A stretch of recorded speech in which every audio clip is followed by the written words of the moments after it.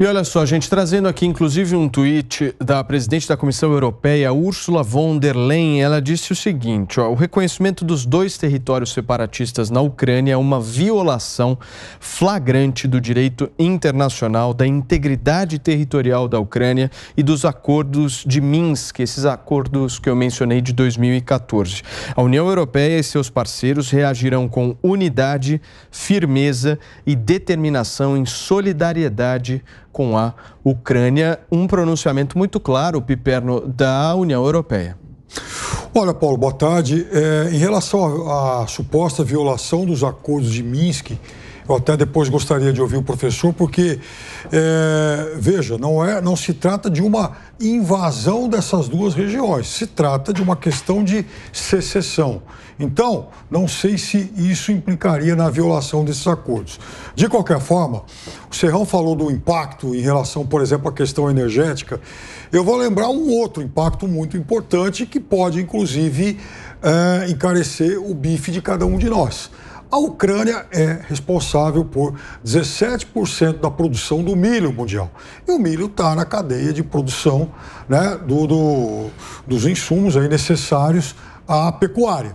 Então, é claro que isso vai ser impactado. A tendência é de que no, nos próximos dias a cotação desse cereal seja, então, elevada. Agora, trata-se, sobretudo, também de uma questão expansionista, uma questão de um império que recuperou seu fôlego, recuperou sua autoestima, a sua força. Porque a gente não pode lembrar que a antiga União Soviética, ainda já no final da era Brezhnev, teve aquela questão muito mal resolvida e de derrota clara lá no Afeganistão. E aquilo mexeu, sim, com é, o psicológico da Rússia, o psicológico da população, com a, com a autoestima daquele povo que era, afinal de contas, uma das duas superpotências mundiais naquele momento. Aí ele morre, vem lá Chernenko, Andropov, é, cada um deles dura um ano e vem Gorbachev. Esse sim, então, responsabilizado tido como o grande culpado pela dissolução do império. Então, a Rússia, de joelhos enfraquecida, passou mais de uma década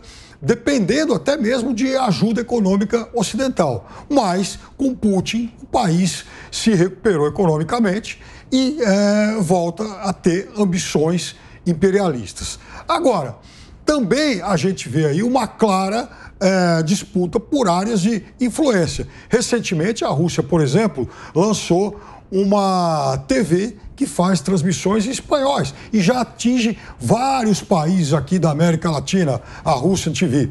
E aí, é, a Rússia também, toda hora, acena com a possibilidade de mandar até armamentos, mísseis e tal, material mais pesado para áreas como Venezuela e outras aí na América Central, algo que seria inadmissível para o Império americano. Então, veja, é um recado de um exímio jogador. Aliás, não é à toa que a Rússia é o país dos melhores enxadristas do mundo. O jogador Putin, o exímio jogador Putin, está dizendo para o Ocidente: aqui é meu quintal, aqui uh, isso é uma área de influência minha. Então, OTAN, não venha para cá.